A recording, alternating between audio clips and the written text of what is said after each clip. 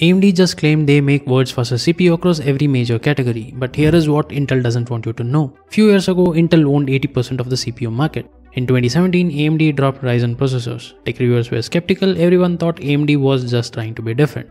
Remember, AMD was mocked on chiplet design, it was called unfeasible. But here is the data that changed everything.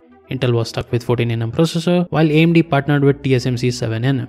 Their new Ryzen 9950X3D outperforms Intel's flagship in gaming. The AMD's EPYC or Threadrippers powers the world's fastest computers. The semi-custom chips runs on Xbox, PlayStation and handheld PCs and the Ryzen AI Max next-gen AI laptop processors outperforms Intel's AI laptop processors.